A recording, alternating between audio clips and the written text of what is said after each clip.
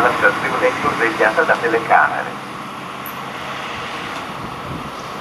I bagagli incustoditi saranno controllati dalla polizia ferroviaria